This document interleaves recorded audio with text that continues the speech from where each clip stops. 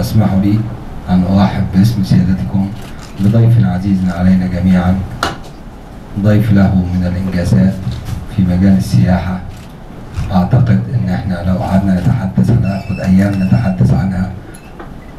وقبل ما أتكلم وأقول رأيي فيه آه، لو رأي أي مواطن مصري في نموذج ناجح